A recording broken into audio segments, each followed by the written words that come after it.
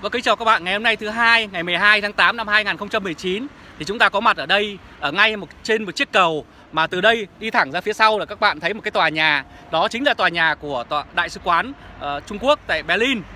Và cũng trong thời gian vừa qua, Trung Quốc cũng đã liên tục gây hấn ở Việt Nam, uh, đó là trên cái vùng biển uh, thuộc uh, đặc quyền kinh tế của Việt Nam ở bãi Tư Chính và những cái vùng biển khác. Trước đó, uh, chính vì Trung Quốc đã liên tục gây ra những cái việc như vậy, cho nên Trung Quốc bắt đầu lộ ra những cái tử huyệt của ông Tập Cảnh Bình là vậy bây giờ chúng ta hãy tìm hiểu xem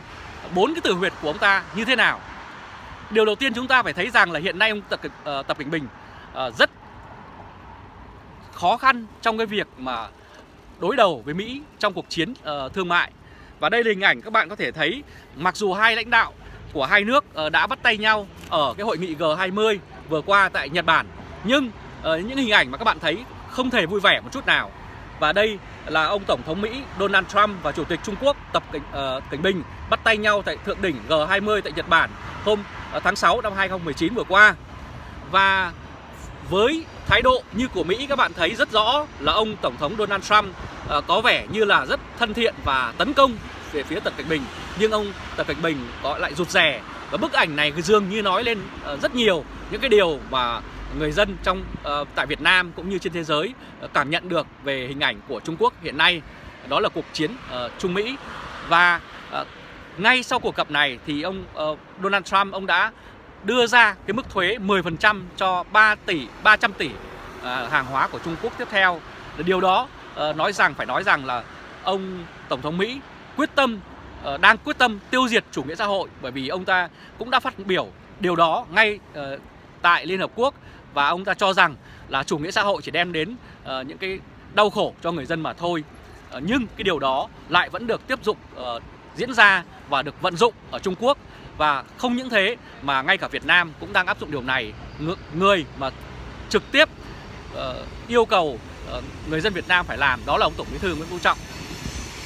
Và cái điều thứ hai cái từ huyệt thứ hai của của ông Tập Cận Bình đó là việc là đang biểu bị biểu tình Trung Quốc đang bị biểu tình dữ dội ở Hồng Kông và các bạn thấy những hình ảnh liên tục trong cả tháng vừa qua tại Hồng Kông đã xảy ra rất nhiều cái vụ biểu tình lớn liên tục. Và ngay cả ngày hôm nay thì ngay cả những sân bay quốc tế rất lớn của Hồng Kông cũng đã phải ờ, đình chỉ ờ, vì không thể tiếp tục hoạt động vì có, có những đoạn biểu tình như thế này. Và ở đây họ ghi rất rõ là no Chinese tức là không Trung Quốc. Và họ uh, chống lại những cái dự luật dẫn độ người Hồng Kông hoặc người đến Hồng Kông sang Trung Quốc để xét xử thì đấy là cái điều mà họ cho rằng là vi phạm vào cái tự do vào cái pháp quyền của họ từ trước đến nay. Vì các bạn cũng đã biết Hồng Kông là một cái đất nước mà luôn luôn được sống trong cái thể chế dân chủ ờ, từ từ hàng gần trăm năm nay. Và đối với những cái người mà khi họ đã làm quen và đã sống trong những cái môi trường như vậy thì họ không thể tiếp tục uh, sống ở những cái thể chế độc tài như Trung Quốc. Và điều đó đã làm cho họ uh, căm phẫn hơn khi uh, quốc hội của nước này đang dự thảo đưa ra cái luật dẫn độ với Trung Quốc và họ chính vì vậy mà đã dẫn đến cái sự biểu tình dữ dội ở Trung, ở Hồng Kông. Và đây là cái điều mà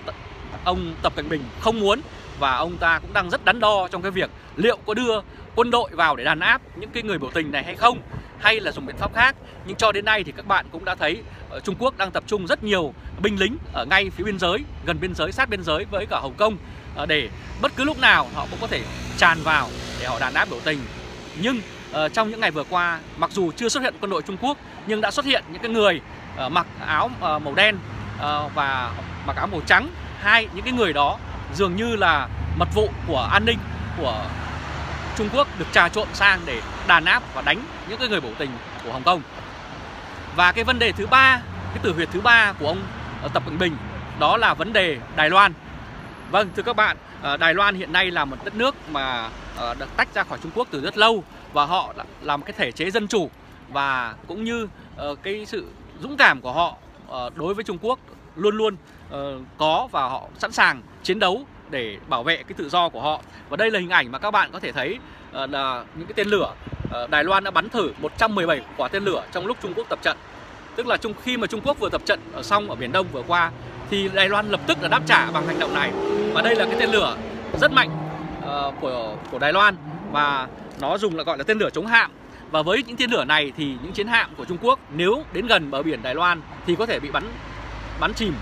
hoặc kể cả tàu sân bay. Uh, và đây là cái hành động rất rõ ràng của Đài Loan đối với Trung Quốc. Uh, tuy nhiên uh, cũng trong thời điểm mà Trung Quốc tập trận thì Việt Nam cũng không không có bất cứ một cái động thái nào tương tự như Đài Loan thể hiện cái sự rõ ràng của quân đội để bảo vệ tổ quốc mà chỉ có Đài Loan à, đã đưa ra điều này và thế giới đã ghi nhận. Và một cái điều tiếp theo ờ, chúng ta có thể biết ờ, được nữa đó là cái tử huyệt thứ tư và tử huyệt cuối cùng của ông Tập Cận Bình đó là vấn đề Biển Đông. À, vâng, vấn đề Biển Đông là vấn đề điều mà trực tiếp đã liên quan đến Việt Nam và Trung Quốc trong thời gian suốt thời gian vừa qua. Từ những năm 1974 à, khi Trung Quốc đưa quân sang à, cưỡng chiếm cái chủ quyền của Hoàng Sa của, của quân đội Việt Nam Cộng Hòa lúc đó. Và sau này đến tận năm 1988 thì cũng đã diễn ra cái vụ Trung Quốc tàu hải quân Trung Quốc đã bắn giết 64 chiến sĩ uh, quân đội nhân dân Việt Nam ở và trên đảo Cạc Ma uh, khi mà họ không có những cái vũ khí mà chỉ họ lính công binh và họ không bắn không bắn lại Trung Quốc. Và 64 chiến sĩ này đã hy sinh uh, anh dũng để bảo vệ cái đảo Cạc Ma đó. Và tuy nhiên thì đây là cái chứng minh cho thấy rằng Trung Quốc sẵn sàng bất cứ lúc nào cũng có thể dùng vũ lực và cái điều mà chúng ta thấy rõ nhất gần đây ngay cả gần đây thấy rất rõ đó là việc cả tàu Trung Quốc cũng liên tục uh, tàu Trung Quốc sẵn sàng đâm vào tàu cảnh sát biển Việt Nam. Đây là cái hình ảnh mà các bạn thấy rất rõ là Trung Quốc rất hung hăng. Họ luôn luôn uh, cho rằng là cái vùng biển Đông, cái vùng chín đoạn tức là Việt Nam gọi là đường lưỡi bò là của họ. Cho nên bất cứ lúc nào họ cũng có thể điều rất nhiều tàu chiến, tàu hải cảnh, tàu cảnh sát biển ra để đâm đâm vào những cái tàu Việt Nam như thế này. Và các bạn thấy tàu Việt Nam thì rất là bé mà thấp. Ở tàu Trung Quốc thì họ thiết kế sẵn, sẵn một cái mũi rất là nhọn và chắc cứng thì những cái tàu này khi lao vào với tốc độ cao vào tàu của cảnh sát biển Việt Nam thì rất rõ dễ tàu Việt Nam bị bị đâm chìm và trước mắt thì chúng ta đã thấy có rất nhiều chiến sĩ hải quân Việt Nam đã bị uh, quân đội nhân dân Việt Nam đã bị thương và những chiếc tàu cảnh sát biển Việt Nam này đã bị hư hại rất nặng và chưa thấy lúc nào chúng ta thấy tàu cảnh sát biển Việt Nam uh, đuổi hoặc là húc tàu Trung Quốc. Mà thường vẫn thấy là tàu Trung Quốc húc tàu Việt Nam. Thì đây không thì đấy là cái thông tin mà chúng ta có thể tra cứu ở trên mạng uh, cũng như là những cái trang báo của nước ngoài. Vậy uh, điều đó chứng tỏ rằng Trung Quốc rất hung hăng và luôn luôn tìm mọi cách để uh, họ nói rằng là họ bảo vệ cái chủ quyền của họ là cái đường đường lưỡi bò tức là chín đoạn. Và Việt Nam thì là cái nơi mà hiện nay đang bị mất dần đảo mất dần biển về phía Trung Quốc. Và hiện uh, cũng nhân qua những cái vụ, vụ việc như vậy kéo dài từ suốt năm 1974 đến năm 1988 và trong một quá trình giữa đó là 1979 thì Trung Quốc đã đưa quân sang để đánh chiếm đánh vào bốn các tỉnh ở biên giới phía Bắc cũng giết hại hàng chục nghìn uh, người dân vô tội của Việt Nam các cháu bé các cụ già các phụ nữ và những cái người uh, chiến sĩ đang canh giữ cái vùng biên giới của Việt Nam ở đó cũng đã bị Trung Quốc giết hại rất dã man. Và điều đó cho đến nay thì luôn luôn, dường như là luôn luôn nóng lên ở tất cả những cái vùng biên giới ờ, đối với cả Trung Quốc. Và họ cho rằng ờ, Việt Nam phải rút đi và phải để lại cái bãi tư chính cũng như là cái thềm lục địa mà họ đã viết vẽ ở trên bản đồ bài lưỡi bò cho họ. Và Việt Nam gần như không thể còn điểm lùi nữa bởi vì các bạn cũng đã biết uh, Nga hiện nay tức là trước đây là Liên Xô thì hiện nay Nga Liên bang Nga cũng không hề lên tiếng ủng hộ hay hỗ trợ Việt Nam về cái việc mà Trung Quốc xâm phạm chủ quyền của Việt Nam. uh, Cuba, Bắc Triều Tiên, Lào là những nước có, do Đảng Cộng sản lãnh đạo tương đồng với Việt Nam nhưng họ cũng không lên tiếng, không hề lên tiếng để mặc Việt Nam bị Trung Quốc uh, lấn át rồi uh, cướp bóc và tìm mọi cách là họ im lặng hết. Mặc dù là Việt Nam cũng có uh, hỗ trợ họ khi mà họ gặp khó khăn, họ Việt Nam đưa viện trợ cho Cuba gạo, viện trợ cho Bắc Triều Tiên gạo uh, trong thời gian vừa qua. Nhưng uh, khi mà Việt Nam khó khăn thì họ không hề có một câu nói nào. Thì cái điều đó Việt Nam cũng phải xem xét lại chính sách. Mà chỉ có những nước như uh, Mỹ như châu Âu là uh, cương quyết là ủng hộ Việt Nam và đến với Việt Nam. Và cụ thể nhất là các bạn thấy hình ảnh Ờ, vừa qua là ông ờ, Việt Nam Việt Nam ủng hộ châu Âu tham dự, tham gia cấu trúc quốc phòng châu Á Thái Bình Dương. Là Bộ trưởng ờ, Ngô Xuân Lịch đã gặp Phó Chủ tịch Ủy ban châu Âu và hoan nghênh cái đề xuất tăng cường hợp tác quốc phòng với châu Âu. Thì đây là cái cái hình ảnh rất rõ ràng về cái việc mà Việt Nam bắt đầu phải chuyển hướng và bắt buộc phải chuyển hướng. Bởi vì không thể đứng mãi một mình như vậy. Bắt buộc phải dựa vào những liên minh của châu Âu, dựa vào liên minh với Mỹ, với khối NATO và Pháp, với Anh thì chỉ có những nước này trong thời gian vừa qua căng thẳng vừa qua họ trực tiếp họ lên tiếng họ ủng hộ Việt Nam. Còn những cái nước anh em như uh, uh, Campuchia uh, và những một số nước khác thì không hề có một uh, điều nào nói để ủng hộ Việt Nam cả. Và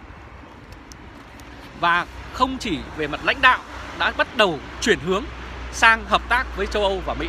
mà ngay cả người dân ở trong nước thì các bạn cũng đã rất biết rất nhiều qua những mạng xã hội và trực tiếp là những hình ảnh mà chúng ta có thể thấy rất rõ ràng là người Việt Nam không không có thiện cảm với cả ờ, cái nhà cầm quyền Bắc Kinh. Ờ, và họ đã tổ chức những cuộc biểu tình rầm rộ biểu tình uh, ghi rất rõ là biểu tình ở Sài Gòn phản đối uh, Tập Cận Bình đến Việt Nam. Và đây là những người đã căng băng rôn biểu tình uh, khi mà ông ta đến Việt Nam. Thì như vậy là Đảng và nhà nước Việt Nam phải biết rõ là lòng dân hiện nay như thế nào đối với cả cái chính sách thân Trung Quốc. Vậy chính cái phe phái mà thân Trung Quốc chắc chắn rằng uh, tới đây sẽ phải có những cái suy nghĩ lại để họ cùng với cả cán bộ lãnh đạo khác cùng với những người mà có hướng cởi mở hơn với châu Âu, với Mỹ và với các nước văn minh uh, để xây dựng Việt Nam ngày càng vững mạnh hơn và để đạt được điều đó thì Việt Nam buộc phải chuyển đổi thể chế có nghĩa là phải trở thành Ờ, một nước dân chủ và đa đảng có sẽ phải cho phép nhiều đảng phái hoạt động trong đó có đảng cộng sản.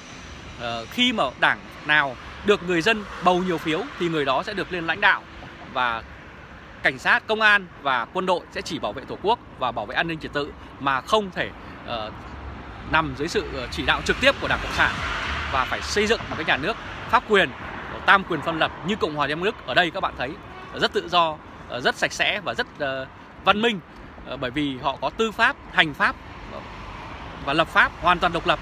cho nên một đảng phái không thể nào điều hành ờ, những tất cả ba cái trụ cột đó được ờ, và chỉ có điều đó thì người dân Việt Nam mới có thể thực sự ấm no hạnh phúc và chống lại cái sự bành trướng của nhà cầm quyền Bắc Kinh